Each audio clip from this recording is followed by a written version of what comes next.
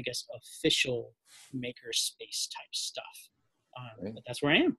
Great. Yeah. And I mean, I took away so many things from that visit last year with, um, you know, your giant compass making things with Rigamajigs and out on the yeah. lawn for doing math. And, and my passion's integration. So um, it seems like you're going 100 miles an hour and you even did some rap this year, right? right? If I, am I right? Yes. Yeah, yeah, oh, yeah. I follow yeah. you here, Todd. I lurk. So.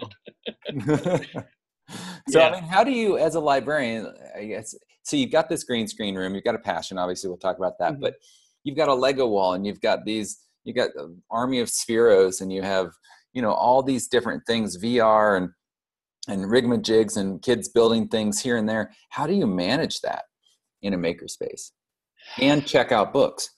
Yeah, that's a really good question. Um, I don't really have the answer to that. Um, no, I, I, I think, um, I think you have to become comfortable with just being uncomfortable in the sense that things are not going to be um, things are not going to be perfectly placed and you know organized all the time and empowering the kids to take a lot of that ownership i think is a big part of it and when you can when you can have kids assisting kids to me that's yeah. the ultimate so if you can teach um, a small group of kids how to do a green screen project and then just kind of let it go. Yeah. And those kids kind of become the experts. And by the time it comes back to you, you know, they've they've ramped up anything you kind of created or or kind of taught them in a whole new way. So yeah.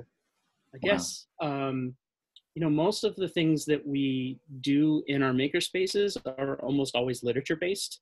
Hmm. So if we're going to do some, you know, a a cardboard construction project for three or four weeks, you know, we'll read we'll read a book. It's not a box um, as a way to start. You know, we did a giant sewing unit last year that um, took, you know, bits and pieces we, we sewed all year, every grade level sewed.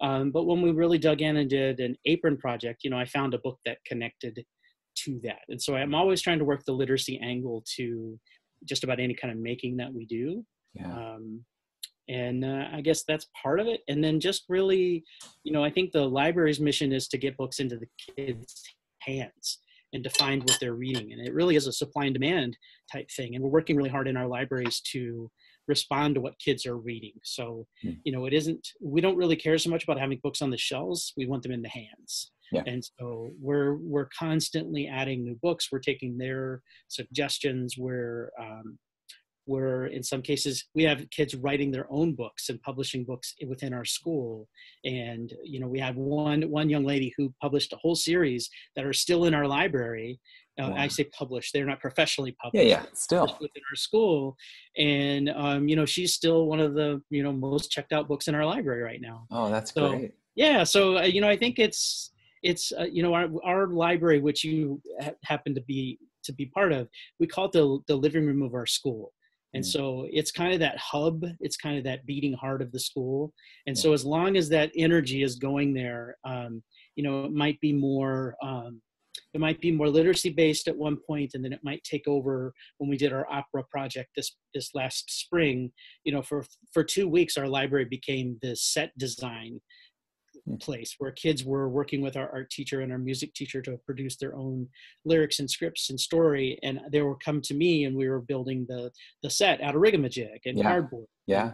So you know i think the whole school kind of thrives on that project based energy that kind of pulses pulses and emanates from there yeah. so. Yeah. And the staff too. I mean I, you guys you yeah. have a little charging station bar. I'll mention that. Um, yeah. I, I, I, mean it's a beautiful idea. I've, I've referenced it a lot. I, love what you've been doing out there but that you can get staff to come in right and have coffee and charge. Is that kind of the uh, is that kind of part of that heartbeat of the school? That is definitely. So most you know like most schools when our teachers come when the kids when teachers come with their kids to drop them off for whether it be a, a makerspace time or a library time more than more more likely than not they're supposed to be in another meeting at that exact same time just the way our the blocks are built. Yeah. But every once in a while, you know, they'll they'll come. They'll be writing conference reports, so they'll be um, shooting emails back and forth to parents or their st- their colleagues. And if we can get them to just kind of rest for a minute, charge up their devices, and we have free coffee for them, which is a you know a big a big a big a yeah. big draw. Yeah. Uh, free coffee and free power. And if we can get them to kind of power themselves, power their mind, and absorb some of the things that are going on in the space, we kind of call that osmotic collaboration. Uh, you know, it just kind of happens. Teachers hear like, "Hey, I heard you guys were doing storytelling with the kids in, you know, the Idea Lab. Could we maybe tie that into our writers' workshop?"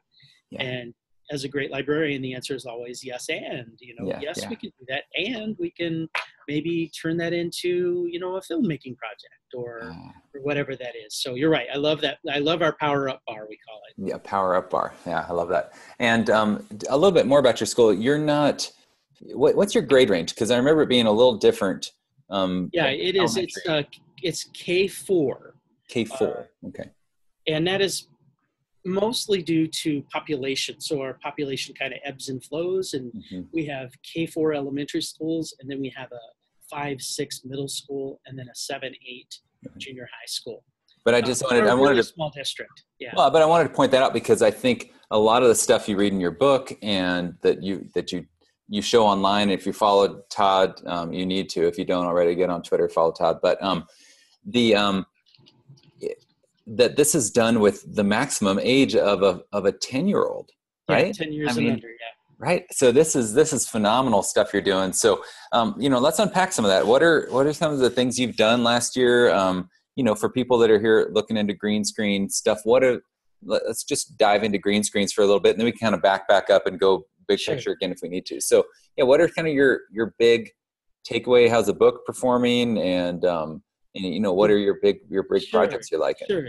Well the the book's doing really well. I mean i think it's you know i think they always ebb and flow as things yeah. kind of go but it's really done consistently well on amazon and um, just having opportunities to get out and share it with people i had my first official author signing i saw that sd and i i mean i've been an author for eight months but it was the first time ever like having the chance to literally sign them for people i sent i mean i I, you, it's funny. I don't have a single book in my house. Yeah. Um, because I, you know, I get these boxes of them, and as soon as they come in, I'm sending them out to people. You know, either whether they be giveaways or, you know, oh, I know this teacher will love this, and send it to her and or yeah. him. And, um, Do you sign so, them before you give yeah, them? I mean, Mine, mine's not signed, Todd. I don't know.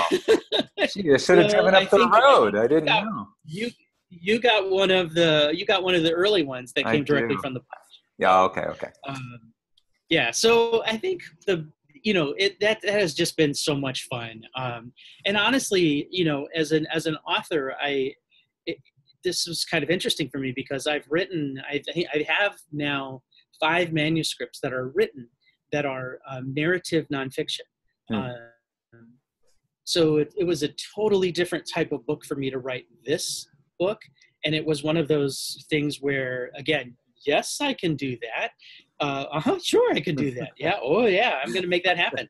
Um, and the good news is they actually um, McGraw Hill just contacted me about writing a second book. So we're oh, great. starting to not necessarily this. The next book is going to be more um, philosophical about immersion and integration across the disciplines, particularly the um, math, uh, excuse me, music and art. Um, so I'm going to be working with some colleagues about designing projects that you know really immerse and there, there may be a green screen connection or not, but really it's the idea of collaborating across the disciplines. Yeah. Um, so, so, so a lot of the stuff in the book, that things that you had done, and then you just had to go redo in a lot of ways to get the pictures and to exactly. And yeah. you're like, oh um, yeah, I've got that, and then it, the I got that actually took you another, you know, yeah, a lot of the things. Hours. Yeah, yeah, well, yeah, hundreds of hours, right, to do all those things. The the what I found was for this book um, that I didn't, I, I really wanted to get away from what I call like the one and done kind of thing. Mm-hmm. Um, I think, you know, a, a, lot of people's first initial experience with green screen is kind of like just like right behind me right now, like take a picture and put a new background in. And that's an awesome way to get started. And I think it kind of, it's the gateway to, you know, other creative stuff. Yeah. Um, but what I wanted the book to be was really a, um, so much more than that. I wanted it to be multiple layered mm-hmm. so that you might um, use green screen, but the the end result is maybe taking a, a, you know a simple image that you would do. So, for example, one of the projects in there is a postcard project from an immigration study, mm-hmm. and it really incorporates two or three different apps. It incorporates many subject areas, so you know you could use something like PhotoMapo and pull in a grid coordinate from wherever these these immigrants were coming to the, mm. to America. You could do a, a, green screen background and insert them into either the country they were from or Ellis Island, wherever that might be. And then yeah. you can also tie that into, you know, a read, write, think activity where they actually write the postcard. Mm. Uh, and so things like that, where it's like multiple levels and layers, so that really, if you did all 24 projects in the book, you would not only have some pretty good skills at the end, but the the intention is that you would see where that could step up to the next level. Yeah, yeah. Um, so you know, a lot of the projects in there are um, are very practical, mm-hmm. um, and I've heard from teachers that um, for kids who are older than 10 they've just been able to hand them the book and say oh, the project and try it and do it um, for kids who are under you know 10 and under like the kids i work with i usually just have those instructions either laminated on a table or i'll i'll build a quick video how to and kids are awesome with that you know you just yeah. show them the very basic thing and then they can go back and watch it again if they need to and with a tool like clips that's really fun and easy for me to do right within that very simple mm. um, that interface yeah. so i found that it's a the book is a great way for people who might have tried green screen but want to kind of push it to the next level yeah. um, and then you know there are some things in there like the school district i just visited out in colorado um, boulder boulder valley school district they all had WeVideo and so i dug into WeVideo and you know the, many of the teachers didn't even realize that in WeVideo there are hundreds of thousands of um, they've just upgraded where there are hundreds of thousands of royalty free stock footage built into the program now and in addition to just fantastic stock footage there are hundreds of thousands of royalty free stock green screen project. Oh. And so I could write a whole book about just using WeVideo green screen. Yeah. because there's so much rich content just already built right into the software. Yeah. What apps you are you even, using the most right now? So, um, well, I kind of made it my mission this summer to learn video as best yeah. I could yeah. to teach folks there. Um, but the probably the simplest and easiest is an app called Do Ink Green Screen, hmm. and it's an iPad app. And one of the features of it that I like the best is if you put it up on, a, on an iPad stand or a tripod, mm-hmm. you can use the front facing camera and have multiple layers. So, sort of like in mm. Photoshop, you can have um, the green screen layer, like right now where I am, that could be the middle layer. You could have an under layer that removes the green screen and puts me in a new place. And then you can have a third layer on top where you can add either extra video or special effects. Yeah. And it allows you to see it all in real time. So you're not so much filming it and then putting into a program, pulling in those special effects. You can actually create it live. So I did some really fun things where I created a tutorial for my students on using the sewing machine. Mm-hmm. And I took a still frame of the sewing machine and then I walked around in front of a green screen, jumping around and saying, "Here's the spindle." Oh, and here's. And you could actually see it at the same time. I could time. actually see it at the same time, and so I was made myself really tiny, and I walked around on top of the sewing machine, pointing out different things. and then, you know, if I needed to, I could cut and then put myself at the bottom of the sewing machine or wherever yeah. it was I needed to do. So just by you know two finger um, shrink That's and great. zoom, you can move yourself around and oh, then change cool. the perspective. So yeah, you can imagine I had their attention for that. Oh yeah, yeah. They, they were riveted. By wow, that. I want. To do a how-to video like that now. And then of course, you know, there's always the, uh, uh, you know, I, I, refer to it in the book as uh, the BFG project, where you know you have the BFG holding his hand out. You put the kids in the BFG's hand, looking at them face to face. And I actually did that with kids this year. Once I taught them how to do that, they were actually filming themselves with their hands out like this and putting that in as the bottom layer and then filming themselves on their hands shrunk talking to themselves oh my and so it so it just you know again it just once you start digging in and experimenting it's just on yeah and so do you have like a couple pop-up green screens um, or do you have some something painted on the wall or what's i don't remember so, your setup so there we, we, so right now like the right behind me is just a piece of uh, fleece from the hobby store mm-hmm. or the, the fabric store.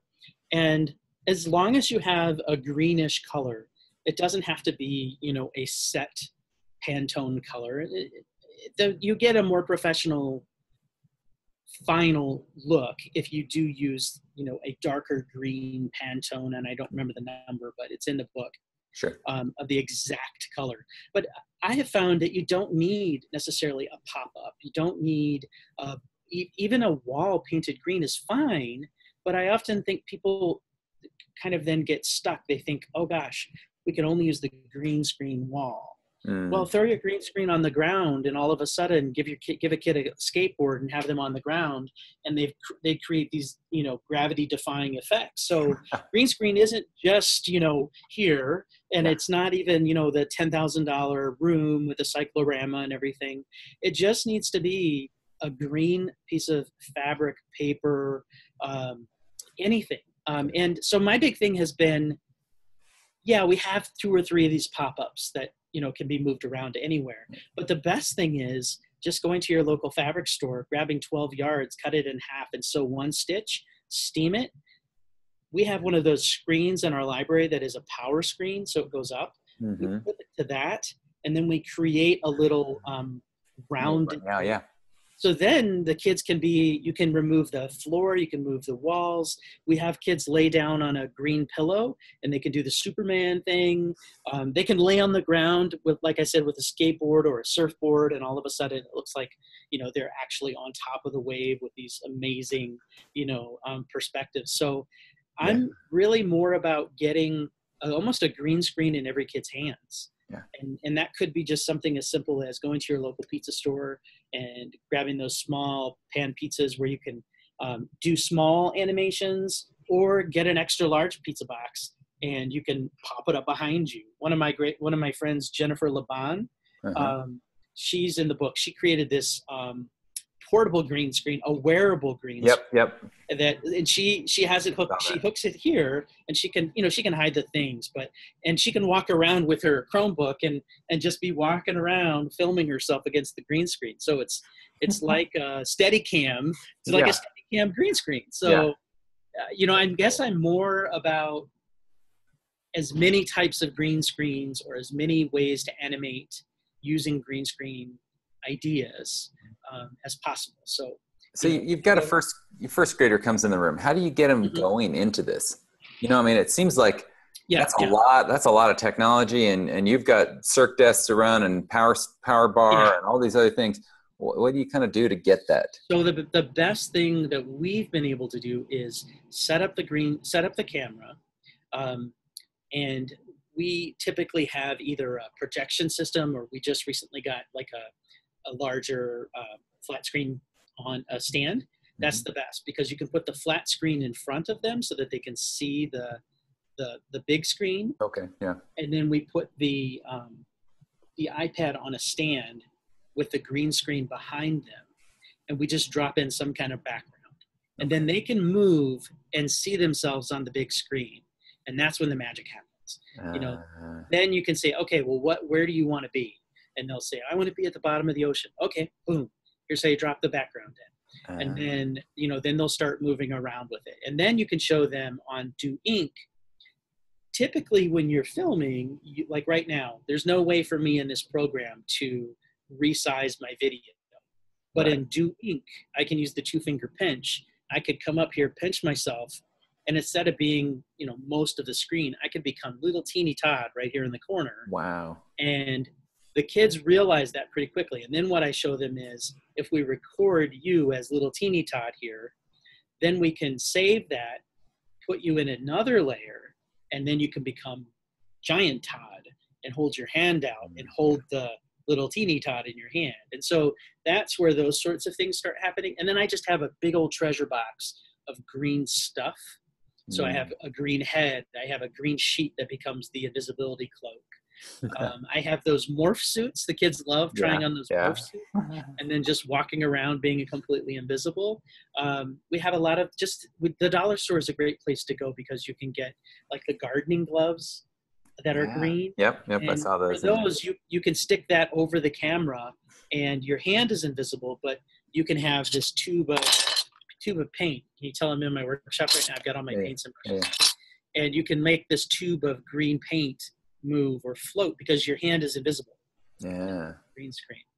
Yeah. So that's kind of how I get started with them, and then they just they it it's not a great idea to do that with like 25 kids Right. because it just becomes crazy. They they they Yeah. just get so excited, and it just becomes it's like unleashing uh, you know a boatload of fireworks on Fourth Yeah. Right. I Right. want to light a few off at a time. So Right. I typically turn the screen so that only the kids that are on this side of the room. Oh, Yeah. right. Right. It very quickly becomes a thing where everyone's coming over. So that's how I start is just with small groups, with um, the, you know being able to see the screen and be able to kind of explore with it a little bit.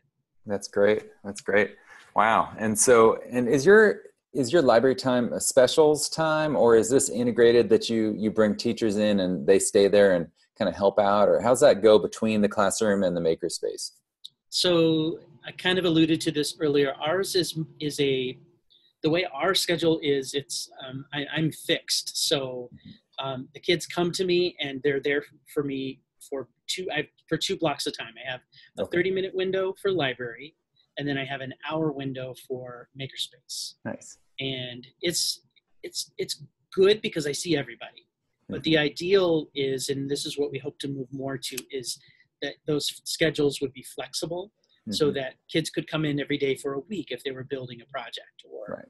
um, but but you know we're getting there it's kind of Yeah. like stage two Yeah. um, and so typically when our kids are in the space with us their teachers are are linked up with another class in a meeting like another Mhm. grade level Okay. Right. team meeting of some I see. I see. so the teachers are not able usually to hang out and Yeah. be part of it Um, Right. so in order to communicate we use seesaw um, Yep. in our school. Yep. I remember that. we'll save those projects in Seesaw. We try to we try to get to what we call our team meetings um, at least a couple times a month and, and find how we can dovetail what's happening within the classroom. Mhm. Um, and then you know teachers, the classroom teachers often will hear, like you said, at the power up bar.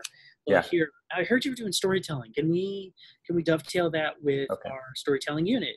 And you know, a good librarian. yes, and Yes, and absolutely yes. Yeah. That's great. Um, somebody's asking here. Uh, great session says uh, I've used two camera layers to create twins, kids and adults. So Yeah, that's my friend Clement, I think. From Yeah. are you still in Switzerland, Clement? I don't know if he can answer or not, but she can, I think he was chat in. Geneva somewhere for Oh. the last bit. Nice, yeah. nice. And his Yes. school is green. So he did this awesome thing. His school is painted green, and he did this awesome green screen thing with his school around the Oh, holidays. wow, that's really great. That's great. So talk a little bit about um, Legos and green screen because you got you have a project in here, and I love love Legos and and I, I still need to get the Pantone color so that I can make my own you know semi you know retentive you know I can share. I can share. obsessive so compulsive. Yeah, I might. I might. colors. Um, so I discovered almost by accident that the green base plates for Lego Mm, can actually have the can actually work as a green screen.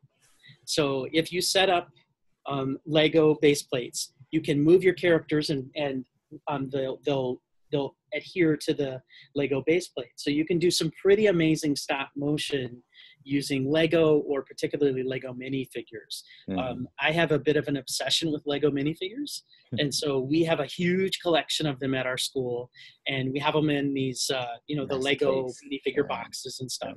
And this is brilliant. I didn't, I can't claim this, but um, a friend of mine taught me the shoe for a figure. So if kids want to use a minifigure in their creations, they give us a shoe. And we put it on top of the shelf, and then at the end of the class, when they line up, if a kid is missing a shoe, their ticket to leave is their minifigure in my That's hand. great. I love Uh, it. so that helps a lot. Yeah, yeah. What's really what's really cool is you can use those minifigures on the actual brick studs to move make them anchor. But my favorite is if you take a book stand and you know a book stand typically has the, the, the vertical and then also a horizontal. If you take and just use a little bit of um, duct tape on the back, you can adhere a Lego base plate to that. So you have a, a strong vertical and right. then do the same with the bottom. And then what we've done is we've added a third so that you really have like a third dimension Yeah. So that you you can build in all three dimensions. This corner shot, then. Yeah, exactly, a corner shot, and and you can also, you know, the, the many um, base plates come in blue as well, and green screen doesn't have to be green. Um, it just so happens that green is the color that is not in most of our skin, Right. uh, unless you're Kermit the Frog. Um, but you can do blue. In fact, in movies, they typically do blue for night shots because they don't want the green to fade Ah. up it, or to uh, spill out onto the actors if it's Yeah. a if it's a dark darkly lit scene. Ah, interesting. So you can use any color Lego base plate really to do that. That's great. And do you have a favorite stop motion uh, app that you've been using? Absolutely, my favorite is Boinks I Stop Motion. Yeah. and it's a little expensive. I, I, it's not terribly expensive. I think it may be like four dollars, five dollars, um, and then they give you a discount if you purchase multiple for a school. But what I love about it best is it has something called the onion skin, and if you can kind of imagine sort of the tech, the style of what's happening in a stop motion, is imagine if you draw a frame and then you slid another piece of paper over top of it, you can still just sort of see the outline hmm from underneath. Um, Boinx iStopMotion allows you to see the previous frame of the animation. Oh, perfect. So you, if you bump the camera, for example, which is a very common thing, the kids can move the camera back and get it lined up just right. Oh, perfect. Um, or if, or if you're working with Lego and the guy falls over, right. set him back up just right, move his arm just to where where it is. So I have used that with as young as kindergarten Wow. and the kids this is the thing i mean uh, you know as i'm i'm moving this will be my 26th year in education and the thing i've learned the most is that kids can do way more than we ever expected of. Yep.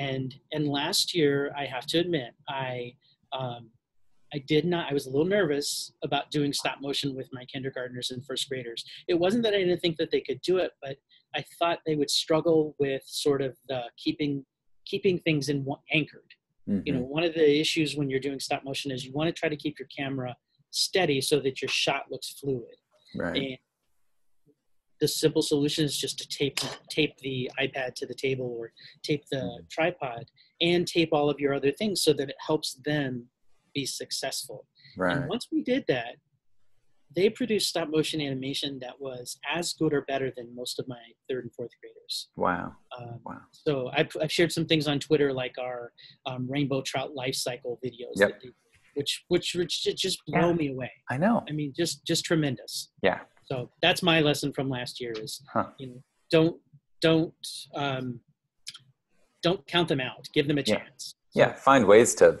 to kind of help them succeed. Yeah, make-. Yeah, get, you know, kind of shore them up a little bit. Yeah. Make it easier for them to be successful. That's great. That's great. Um, so I saw you. So we'll do a little more green screen here if we have time, but I've been trying to keep them to around 40 minutes or so, just so people are watching. But um, so what are you know? You did some Rigamajig um, article, or was it um, was it something at ISTE? I saw I saw a bunch Yeah, of so- Rigamajig something. So I, you know, Rigamajig is a great company. I don't. They're they're a nonprofit, so they're not going to be out there pushing their stuff. And Yeah. the company that sells them is Kaboom. Is their the sort of their company that does the selling for them. Um, and they've just recently become available on platforms like Demco and Mhm. Teacher Supply Store and things like that. So they're getting to be more of a. It, it's easier for teachers to get. They can now do it on Donors Choose, Oh, okay. like that. Um, Yeah, because they are I'm- kind of spendy. They're big. I mean, they're basically, if you don't know about them, they're big wooden pieces that yeah. have uh, they're just I don't know holes and pegs, right? They're like a giant wooden erector set. Yeah. Um, I mean, and- these pieces are what three to four feet long. Some of them, or yeah, I mean, some of them are are easily four feet long, Mm-hmm. and everything is connected with a thumb tightened wing nut and screw, and it's just it's one of my absolute favorite building tools. And every year now, for four years that we've had our makerspace, we do a survey of the kids, and every year their number one. Um, their number one favorite tool, and it, and like you said, Mark, we have so many things. You would think they would say the drone or the Right. Sphero or whatever it is is Rigamajig. really? And even our biggest kids say that they can build something big Yeah. quickly. Yep. So they can build a house. I mean, they can literally build a house in an hour, and Yeah. and like a house you can like live in, Yeah. little tiny house. Yeah. Um, and so yeah, so I've recently done um, just I, you know I I did an article for them. um, about their new Simple Machines add-on kit. Mm.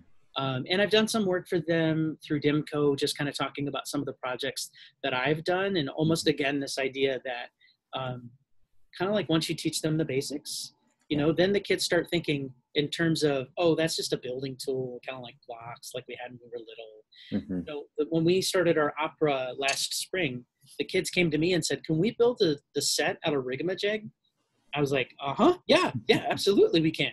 And we had just finished studying automata, so we did some yeah. simple um, cardboard and um, wooden block automata. And so they actually decided that they were going to make the set pieces move.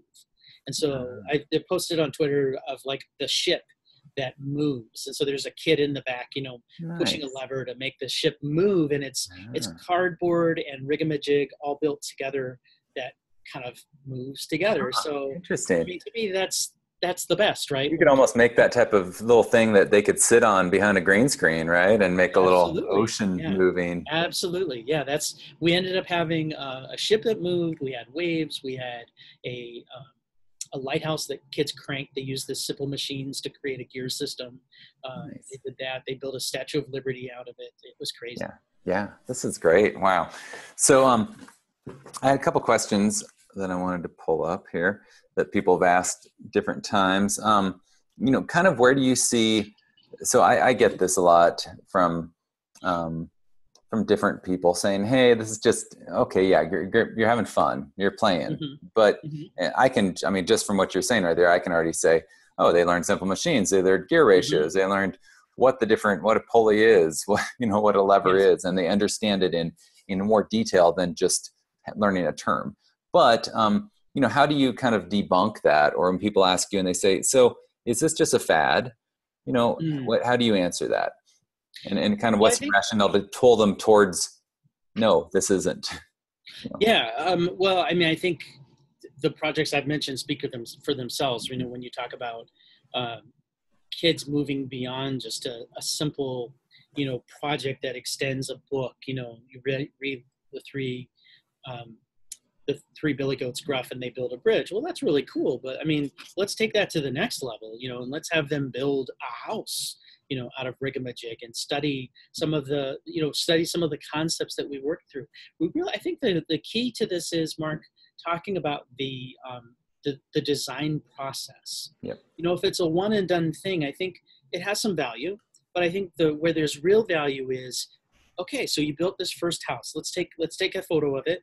Let's reflect on it. What worked really well what didn't work really well. Okay next week we're going to try this again but we're going to use what we learned today to make this house even better what would we do to make it better the next right. time you know maybe we would add cardboard or maybe we would um, try making a stronger base or maybe we would need to um, integrate some other system into this right. so you know i think almost everything in our, our in our curriculum starts with some sort of challenge. You know, whether it be um, some of the more formulaic things like one of our experiences is we put a giant zip line in the library.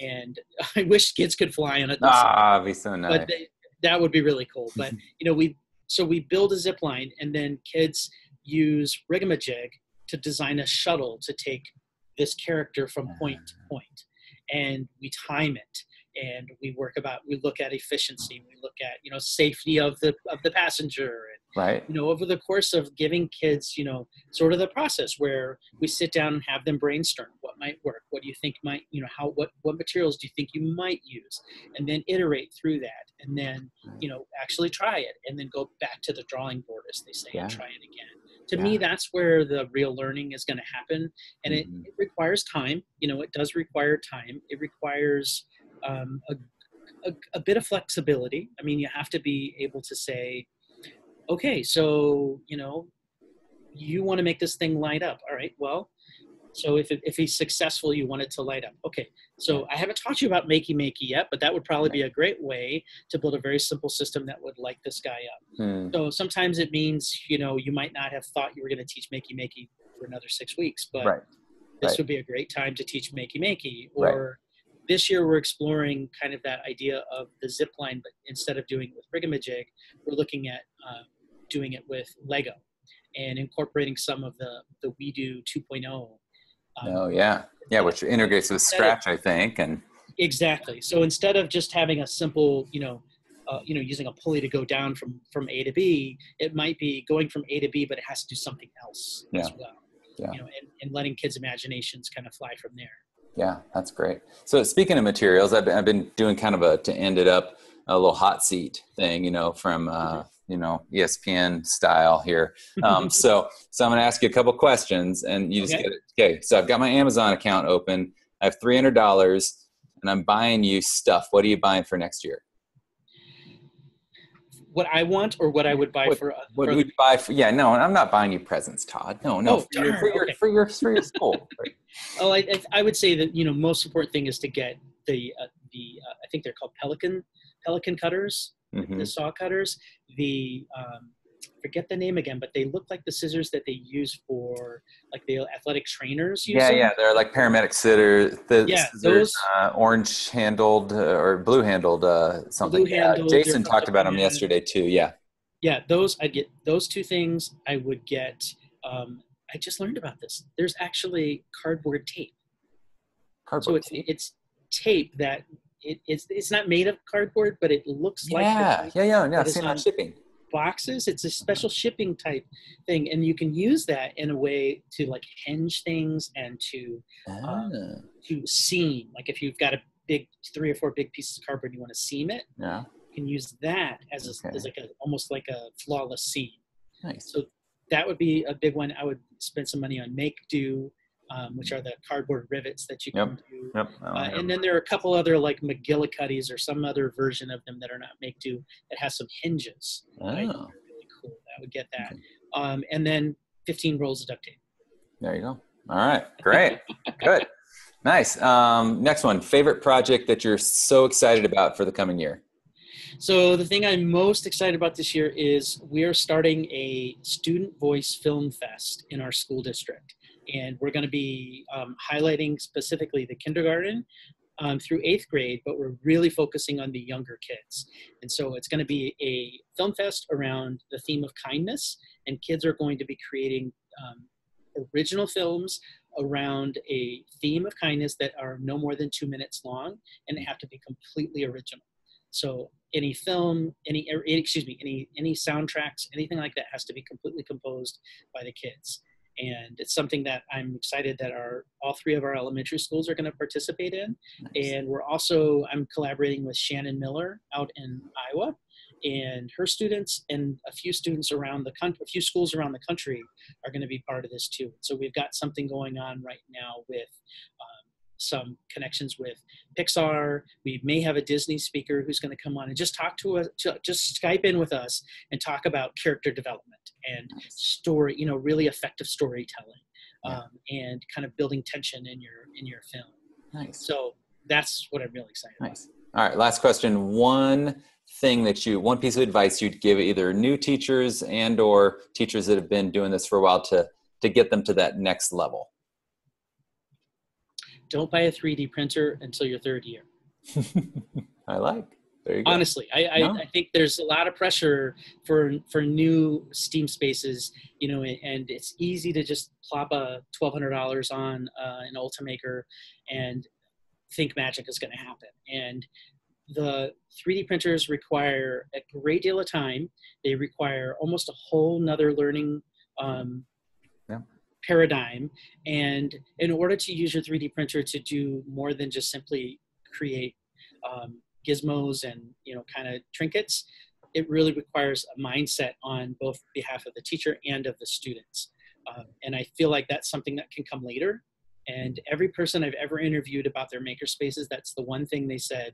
If they could have done it over, mm-hmm. they wouldn't have bought a 3D printer until their third year. Yeah. So that's my Thank you. That's good. I, I kind of get an amen. That's my advice too. Yeah, it's it's um, I mean paper and tape, right? It's the creativity process. It's it's the design process. It's rapid prototyping. 3D printer is none of those at that point.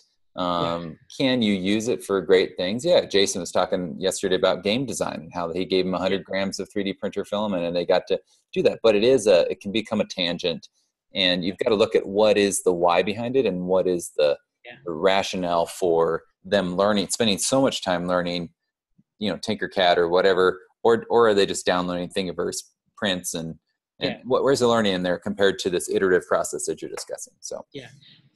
cool. Um, last thing, more information on um, you, your book. What's your Twitter handle?